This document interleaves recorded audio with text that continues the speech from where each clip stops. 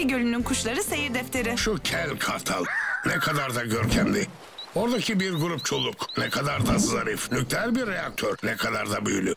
Gördüklerimi işaretleyebilirim. Kel kartal tamam, çoluk tamam. Hı, sıradaki ne acaba? Oo, beyaz göğüslü dalgıç kuşu. Özür dilerim büyük baba. Rüzgar onu sürükledi. Bir daha olmaz. Beni yeneceksen aerodinamik yeteneğini geliştirmelisin. Projemle ilgili uçuş prensiplerinin yazdığı bu kitabı okuyordum. Ve sanırım o uçakların uçmaya uygun değiller. Hah, görelim bakalım o aerodinamikini, meksini dediğin şeyi işte. Bu çok daha sivri oldu. Hazır, fırlat. Ah, hadi ama bir kez daha. Şurasını biraz daha katlayıp buraya da biraz itici eklerim. Ah. Üstüne biraz dengeleyici dökelim. İşte oldu. Dümen kontrolü. O şeyi yanlış yapıyorsun. Eminim buna. Şu güzelliğin tadını çıkar. İşte. O da tıpkı diğerleri gibi görünüyor. Ah! Ah! Ah! Evet. Ah! Ah! Ah! Vay canına. Aslında o sonuncu etkileyiciydi. hey,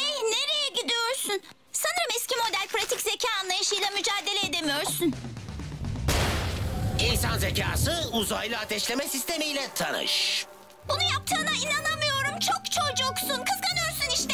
Dalgıç kuşları demişken nerede kalmıştık? Ha, bir yaban ördeği sürüsü. Yeşil balıkçılar. Oo ve terk edilmiş bir araba fabrikası.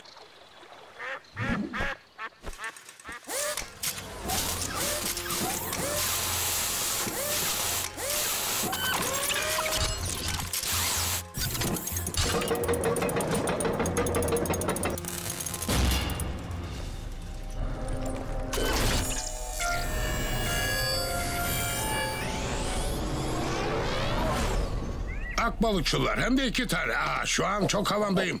Çocuklar benimle kuşları izlemelisiniz. Daha o kadar sıkılmadık büyük baba.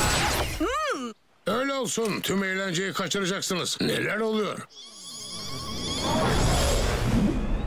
Oo, tehlike yaklaşıyor gibi. Gitmeliyiz çocuklar. Neler oluyor büyük baba? Bir şeye daha yakından bakmam gerekiyor. Umarım saatin hazırdır. Evet her şey tamam. Musun Güven? Vay canına evet görüyorum. İlk yoldan sola dönersen onları yakalarsın.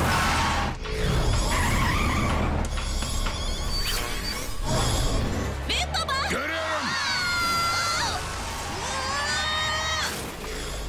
Tamam ben sıra sende. Tabii. Aa, tamam tamam. Aa, henüz yeterince şarj olmadı. Sen ve şu marshmallowların. Ah, şimdi ne olacak? Bir fikrim var. Dikkat et be. Ha?